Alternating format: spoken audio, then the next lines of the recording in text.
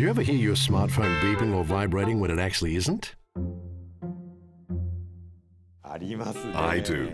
I think my phone is vibrating when it's just me shaking my legs. Do you always check your smartphone when you have a second, like during breaks at work? Yes, I think I do that as well. We decided to check our anchor, Shinichi Takeda's daily routines, when he was on standby.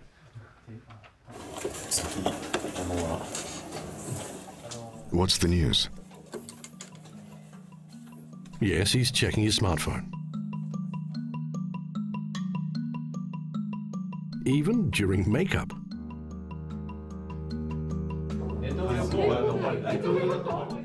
How about immediately checking stuff online? Don't you use that word? Really?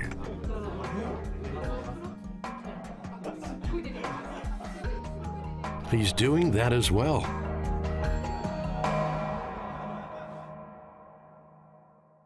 Shinichi seems pretty dependent on his smartphone. But what about you?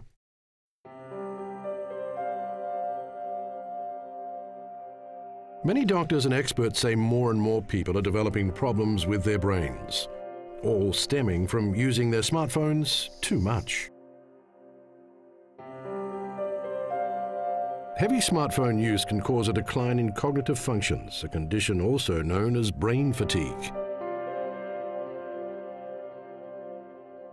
This is an image of the brain of a person with the condition. Blue indicates areas where blood flow has weakened and functions have declined. Compared to a normal brain, the difference is clear.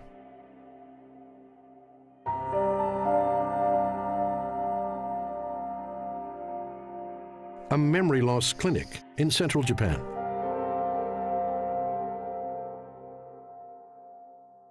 Most of the patients here used to be elderly people, but things started to change about five years ago. People in prime working age, from their 30s to 50s, now account for 40% of our patients.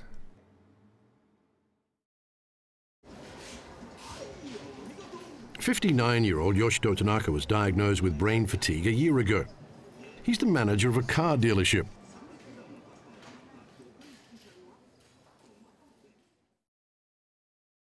Tanaka has been using a smartphone for eight years. He says he often checks email, social media, and articles which he thinks are useful to his job.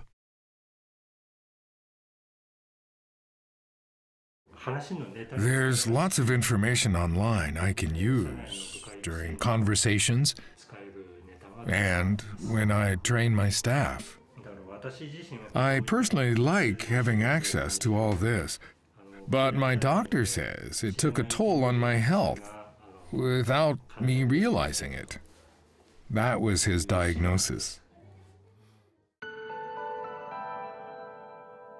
The first change, forgetfulness. Tanaka couldn't remember the name of one of his staff members. Then it started happening frequently. And this is how he reacted when one of his employees made a mistake. Even a school kid wouldn't mess up like that. What kind of education did you get? Tanaka used to be good-natured, but he says he became more prone to yelling without paying attention to those around him. And surprisingly, Tanaka says he failed to notice any of these changes himself.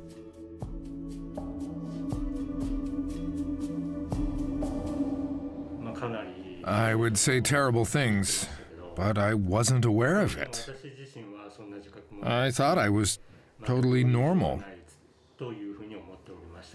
But my wife said something was wrong with me.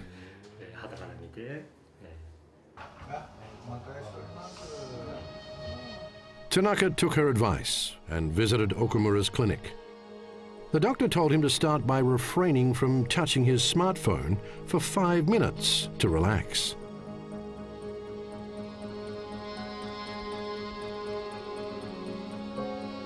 Researchers have found a network in the brain that becomes active when people unwind.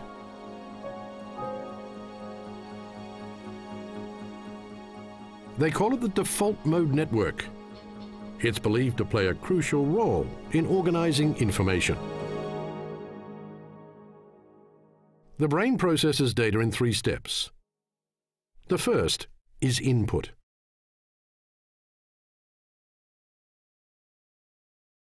Then the data is organized by the default mode network. Finally, it's output in the form of speech and other means. When people overuse their phones instead of relaxing their brains, information isn't processed properly. The data is left in a disorganized heap. Okumura says this affects memory and speech.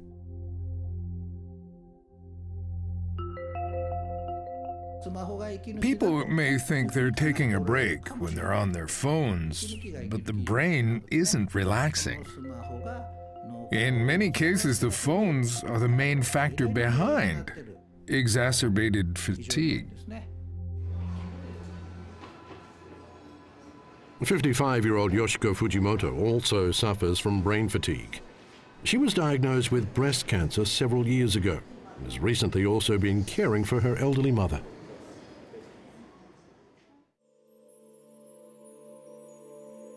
She says she was worried when she no longer felt excitement.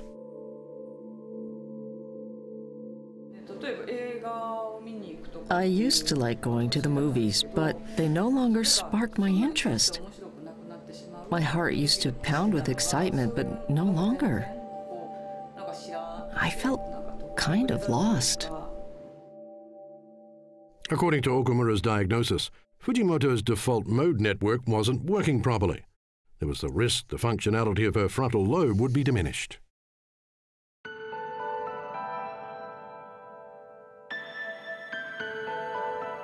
The brain's frontal lobe controlled judgment, desire, and even emotion.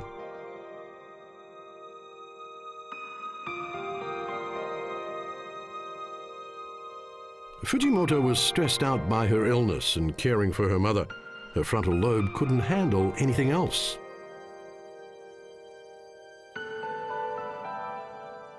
She says she was frequently looking up facts about breast cancer on her phone, and this may have overworked her frontal lobe. My sense of curiosity had been worn out.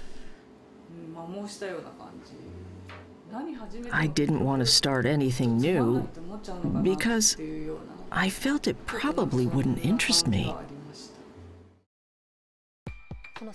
Other doctors and researchers have also been sounding the alarm about smartphone-induced brain fatigue.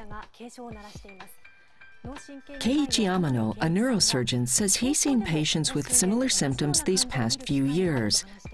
He says he calls the condition in which the brain has too much information overflowing brain. In Germany and South Korea, some experts call it digital cognitive impairment. Professor Hyung Suk So of South Korea says research is needed to determine whether the irregularities caused by smartphone dependency are temporary or early signs of dementia. So the brain gets tired, but our brains also get tired when we're working or reading a book. What's the difference between that and looking at your smartphone? It's the sheer quantity of information. Our phones bring us huge amounts of data. It's intensely bright and has many colors, and we can use our phones while doing other things. I see what you mean. You can look at your smartphone while you're watching TV or fiddle with it while you're waiting for your computer to start. Also, once you're on your phone, you can use multiple apps at the same time. You look at or listen to or write about many things simultaneously. It seems like you're multitasking. But the brain is actually very bad at doing several things at once. Is it? Hmm, that's right. The brain wants to concentrate on one thing at a time. But when you multitask, it quickly switches from one task to another. This puts too much stress on your brain. I believe that's what causes smartphone-induced fatigue. I'd like to show you the smartphone-induced brain fatigue risk test that we mentioned earlier in the program. The first 10 boxes ask people about their smartphone habits. I encourage our viewers to take the test as well. In addition to the items we showed, there are categories like I take photos instead of notes, and I can't find new locations without my phone. Shinichi, you checked 8 out of the 10 boxes. Let's look at the next 10. These are about memory and memory loss. For example, I'll forget why I walked into a room, or I can't remember what I did three days ago. There's one here that says, I couldn't name three topics in the news right now. I was shocked to see that you, of all people, checked this box. I know it's not good for a newscaster, but if I'm asked suddenly, I find it hard to remember. People who multitask have a hard time sorting things out. Now let's take a look at the final 10 items. These are meant to check on physical and mental health. I always feel tired, both physically and mentally. I'm irritable and feel vulnerable. Shinichi, you checked I'm easily depressed. Are you okay?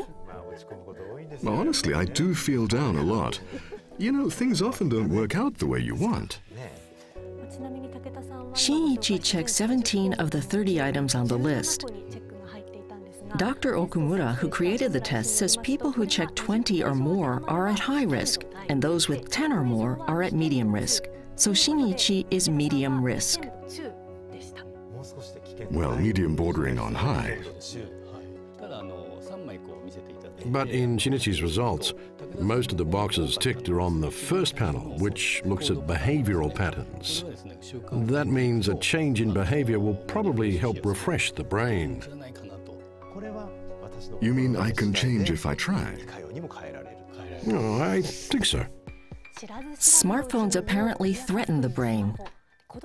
But data indicates that the impact is more serious on children. This shows the correlation between the results of math tests administered to a group of junior high school students and their smartphone usage.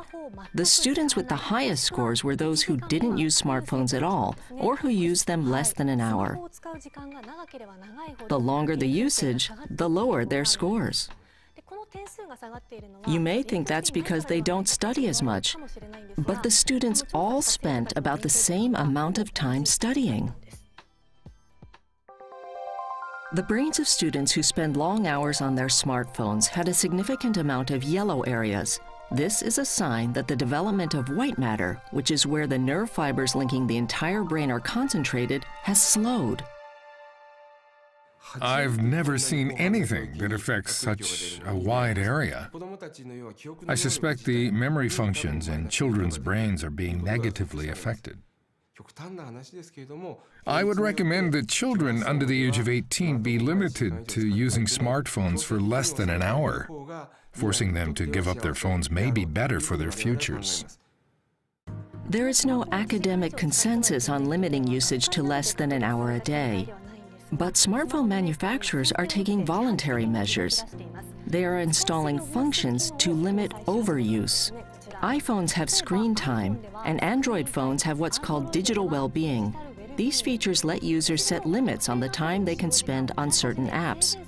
Once the limit is exceeded, the apps can't be opened for the rest of the day. If we don't use our phones for a certain period of time, will our brains return to normal? The brain has a trait called plasticity, which helps it retain changes. Even after something bad, if we gradually adjust our habits and keep doing good things, our brain will change for the better. Children's brains are said to be highly plastic, so I think they recover quickly. Shinichi was at medium risk on the smartphone dependence disorder test, and we did another test on his brain. We measured blood circulation in his frontal lobe while he did a simple quiz. This chart shows the results. Professor Edogawa, you found them surprising. Why? Well, frankly speaking, I suspect your brain wasn't working as much as expected. Really? Yes, if your brain had been highly active, the blood circulation would have increased sharply. It was supposed to rise. Honestly speaking, I was shocked to hear that. So I did a digital detox. It's when you put down your devices in order to reduce reliance on them. Some hotels and travel agencies now sell digital detox retreats and tours. Will the detox change our brain? Let's take a look at what I went through over the course of 40 hours at one of these retreats.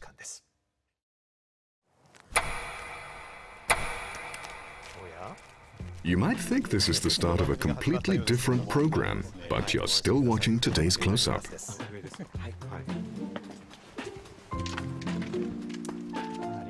I was pretty excited as I headed to my room. Hope you did well. The director told me not to put in too much effort.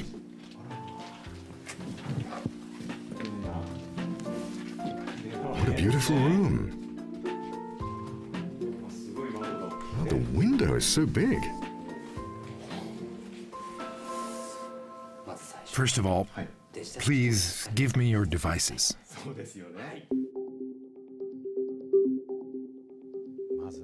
I put my phones in a briefcase, which the hotel staff locked. Very strict. So absolutely no smartphones is a must. Yep, it's necessary for a digital detox. Enjoy your stay. The NHK crew left my room. And you're all alone.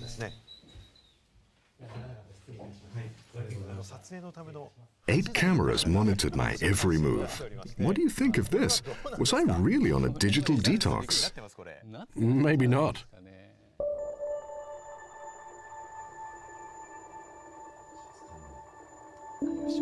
I was thinking about what to do.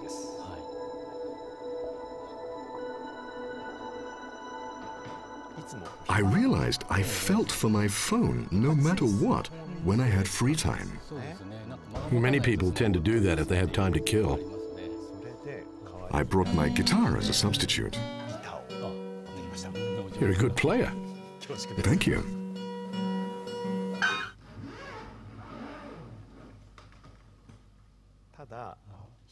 But I can't play that many songs. I soon got bored, so I decided to read a book, Not an e-book. an actual book.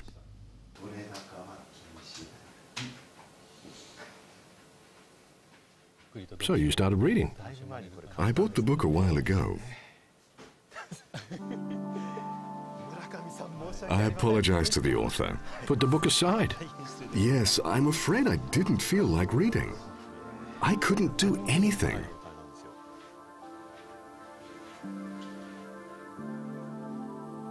I think it was a symptom of withdrawal. Really? Smartphones constantly stimulate the brain. Once you get used to it, you want that sensation all the time.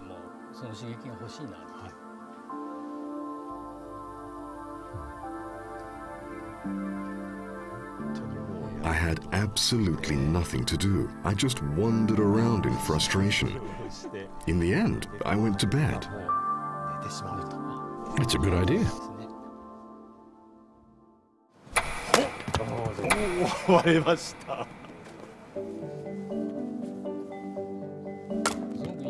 Outdoor activities are very good. If we're in a natural environment, the brain's healing hormones start to increase. I really recommend that people move their bodies without using their brains. It's really good.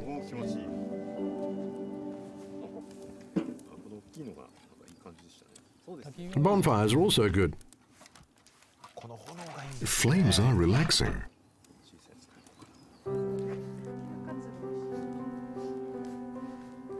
It's the flickering. Sounds and lights are in what is known as the fluctuation state. Experts say if something around us is in such a state, we tend to unwind more easily and the default mode network is prone to be turned on. You don't usually look like this. A blank stare. Yeah, but it's good. You look great. And look at the stars. I lay down to watch them. Ah, looks so cozy.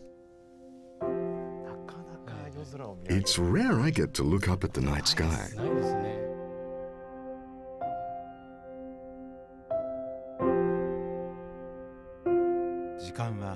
time is not there to be filled with tasks. It's just there to be felt as it passes by.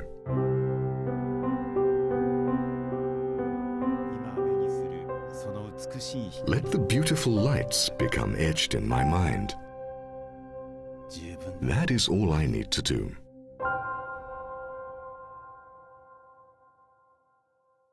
So I ended up composing a poem. But it came out naturally, didn't it? Yes, I started thinking it's okay to do nothing in particular.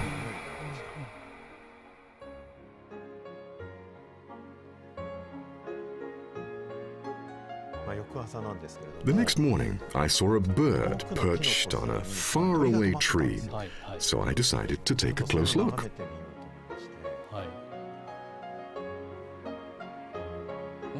You must have seen lots of birds during your daily life, but they were just background information you really weren't aware of.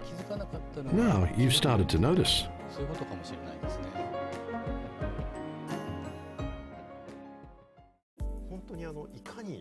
The trip taught me just how hardwired we are to fill our time by doing something.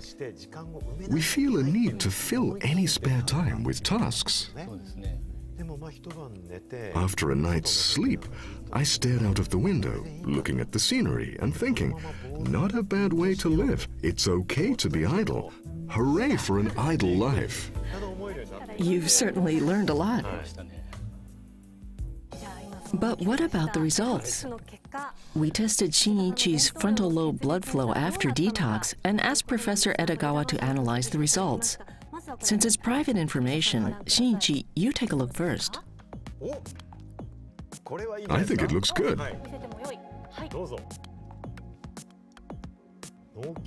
It says signs of recovery in brain function, but it falls below expectations. Are the cameras to blame?